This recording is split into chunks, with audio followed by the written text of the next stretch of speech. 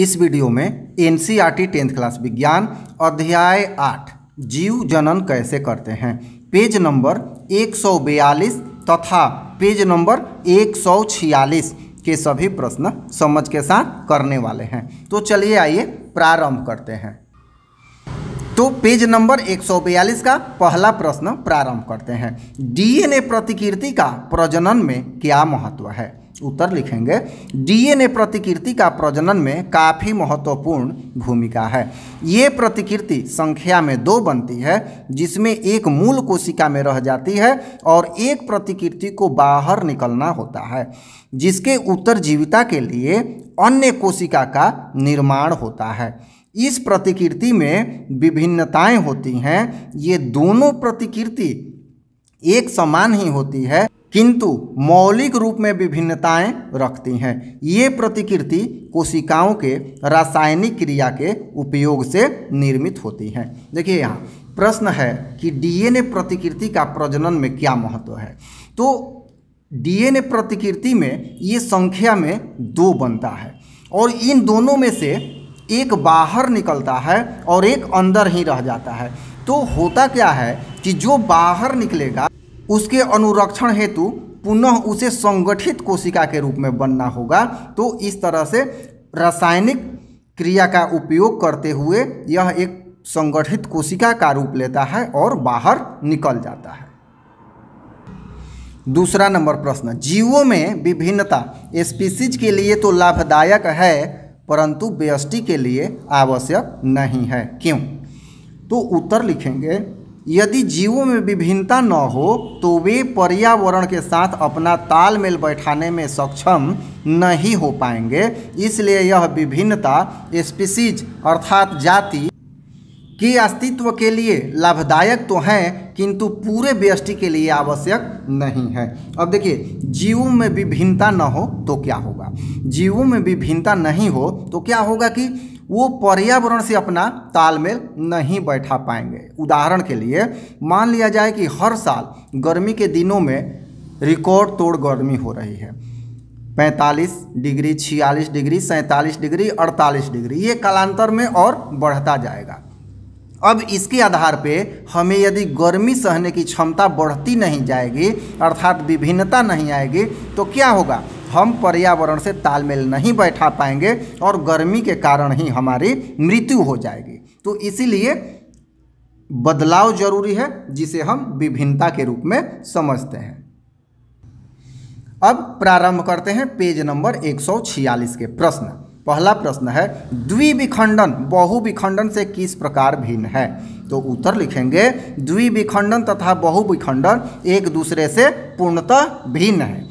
जब कोई जीव दो से अधिक भागों में विभाजित तो हो जाता है तो उस क्रिया को बहुविखंडन कहते हैं। देखिए, दो से अधिक में जो विभाजित हो जाए तो बहुविखंडन कहा जाता है। इसके उदाहरण है, मलेरिया परजीवी तथा प्लाज्मोडियम। कई बार परीक्षा में आता है तो ये दो नाम आप याद रखेंगे। बहुविखंडन के उदाहरण, मलेरिया परजीवी तथा प्लाज्मोडियम। किंतु जब कोई जीव केवल दो भाग में खंडित होता है तो उसे द्विविखंडन कहा जाता है, जैसे अमीबा। तो ये भी आप उदाहरण रखेंगे। अमीबा हमेशा द्विविखंडित अमीबा हमेशा द्विविखंडित होता है तो यह द्विविखंडन का उदाहरण है। दूसरा प्रश्न, बीजाणु द्वारा जनन से जीव किस प्रकार लाभान्वित होता है? तो उत्तर लिखेंगे, बीजाणु को हम बहुत दिनों तक संग्रहित कर सकते हैं, क्योंकि इनका बाहरी आवरण जो होता है, कठोर छिलके के रूप में होता है। जब बीजाणु को नमी मिट्टी तथा वायु की उचित मात्रा प्राप्त होती है तो वे वृद्धि करके पौधे रूप पौधे रूपी नए जीव के रूप में उत्पन्न होते हैं। इस प्रकार उचित वातावरण के अनुसार बीजाणु से जीव प्राप्त किया जा सकता है। देखिए, ये बीजाणु द्वारा जनन बहुत ही लाभदायक होता है। बीज को संग्रहित कर लिया जाता है। जैसे मान लिया जाए कि चने को संग्रहित कर लिया गया और हम चाहें तो चने से जब चाहें उचित पर्यावरण देकर अर्थात मिट्टी, वायु, नमी, जल आदि की व्यवस्था कर हम उससे चने का पौधा प्राप्त कर सकते हैं। तीसरा प्रश्न, क्या आप कुछ कारण सोच सकते हैं जिससे पता चलता हो कि जटिल संरचना वाले जीव पुनरुद्भवन द्वारा नई संतति उत्पन्न नहीं कर सकते? उत्तर लिखेंगे। जटिल संरचना वाले जीव में पुनरुद्भवन करके नए जीव उत्पन्न नहीं किए जा सकते हैं, क्योंकि ऐसे जीवों में विशेष ऊतकों द्वारा विशेष अंग निर्मित होता है, जिनके कार्य अलग अलग रूप में बंटे होते हैं। और सभी अंगों की अलग अलग दक्षता का तालमेल करके एक जटिल जीव निर्मित होता है। किसी एक अंग को अलग करके सारे कार्य कराना चाहें तो यह संभव नहीं है। इस प्रश्न में सबसे पहले आप ये समझ लें कि पुनरुद्भवन, ये जो शब्द है, ये क्या है? तो पुनरुद्भवन का अर्थ होता है कि अगर काट दिया जाए उसको तो फिर से उत्पन्न हो जाए। जैसे मान लिया जाए कि छिपकली की पूँछ जो है, कट जाती है तो वो फिर से आ जाता है। किंतु अगर हमारा हाथ कट जाए तो क्या हमारा हाथ पुनः वापस आ जाएगा, ऐसा नहीं होता है। क्योंकि हम बहुत ही जटिल संरचना वाले जीव हैं। ये एक विशेष दक्षता वाले ऊतकों के निर्माण से बना हुआ अंग होता है और इस अंग को पूरा शरीर पुनः स्थापित करने में सक्षम नहीं होता है। चौथा प्रश्न, कुछ पौधे को उगाने के लिए कायिक प्रवर्धन का उपयोग क्यों किया जाता है? सबसे पहले तो कायिक प्रवर्धन का अर्थ समझ लें। कायिक प्रवर्धन का मतलब है कि उसे काट कर रोप दिया जाए। कायिक प्रवर्धन का अर्थ है कि तने को काट कर रोपण कर दिया जाए तो नया पौधा प्राप्त हो जाए। उत्तर लिखेंगे, प्रायः वैसे पौधे जिनका बीज प्राप्त नहीं किया जा सकता, उन्हें कायिक प्रवर्धन से उगाया जाता है। इस तरह के पौधे बीजाणु से उगने वाले पौधे से अपेक्षाकृत जल्दी फल देते हैं। कायिक प्रवर्धन की मुख्यतः विधियों में से दाब विधि कलम विधि आदि प्रमुख विधियाँ हैं। देखिए, कायिक प्रवर्धन में क्या होता है? दाब विधि।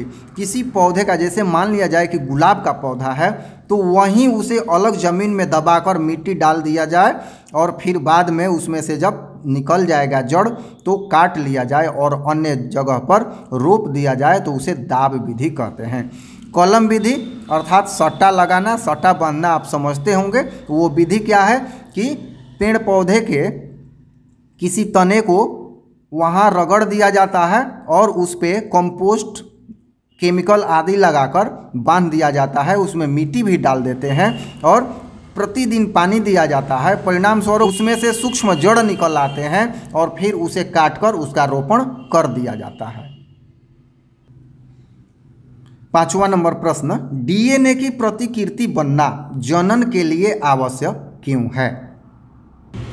यहाँ उत्तर लिखेंगे, डीएनए की प्रतिकृति का बनना अत्यंत आवश्यक है, क्योंकि इस प्र, क्योंकि इस प्रतिकृति में दो जीवों के गुण होते हैं, जिससे इनमें विभिन्नता आती है और यही विभिन्नता विषम परिस्थिति में जीव के अस्तित्व को बनाए रखता है। थोड़ा सा यहाँ समझ लिया जाए।